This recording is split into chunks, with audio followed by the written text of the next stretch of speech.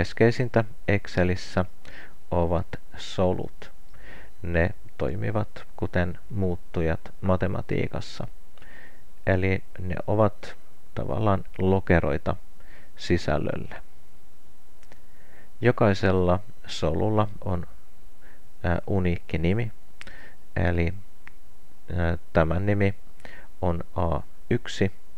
Nimet perustuvat sarakkeiden kirjaimiin ja rivinumeroihin.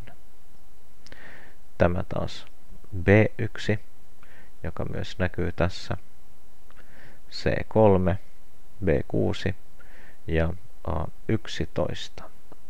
Solut toimivat niin, että joko syötämme niihin jotain tai Excel syöttää niihin jotain meille. Jos me syötämme jotain, emme käytä yhtä kuin merkkiä, vaan kirjoitamme tämän arvon tai tekstin ää, tähän suoraan. Jos haluamme, että Excel syöttää tähän jotain, niin kirjoitamme yhtä kuin merkin. Ja yksinkertaisimmillaan tämä toimii näin, että klikkaamme tätä viereistä solua, jolloin tähän tulee solun nimi. Ja nyt B1 näyttää saman sisällön kuin mitä löytyy A1. Kaksoisnapsautan ja teen tähän laskutoimituksen.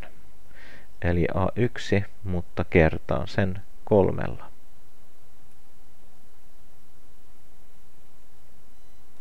Kun käsittelemme tekstiä, toimintatapa on sama, mutta käytämme funktioita, koska kirjaimiin ei voi soveltaa matemaattisia laskutoimituksia. Kaikista tärkeintä on kuitenkin muistaa, että kun itse syötämme soluun jotain, emme käytä yhtä kuin merkkiä.